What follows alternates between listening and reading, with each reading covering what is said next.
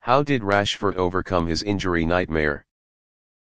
Not long ago, Marcus Rashford often played with a painful expression when his shoulder was injured. Only after the complete treatment of this injury, did Mew's number 10 break through. Since making his debut with the Mew first team in 2016, a lot has happened to Rashford. Injury is one of them, the most prominent is the injury to the shoulder. Since entering the field and then missing his penalty shootout in the Euro 2020 final, Rashford has had to rest for more than three months to undergo surgery.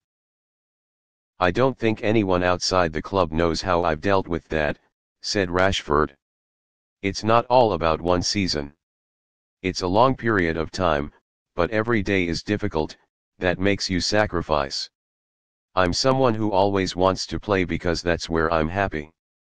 Every time I have to sit out because of an injury, everyone knows how sad I am. So I'd rather deal with the injury and play as much as I can. That's when you had to throw yourself into the battlefield and my shoulder couldn't take it anymore. I chose the time to finish treatment but then the season just swept away. Now I can't go back to the past, but there are lessons to be learned from it to make sure the same thing doesn't happen again. And the biggest lesson Rashford has learned is kicking the ball with his head. That was the message he sent through the celebration, pointing to his temple.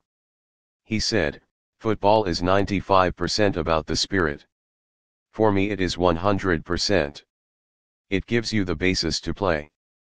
There are a lot of players with skillful feet out there but what makes the difference is the spirit. God. I've been at both extremes. I understand its power and appreciate it very much. I'm trying to concentrate to keep the balance in my head. Including England and club level, Rashford has scored 27 goals this season, the best achievement of his career. In the 18 games since the 2022 World Cup, Rashi has fired 16 times and he needs to carry that form into the League Cup final against Newcastle next Sunday, a chance to win his first title of the season.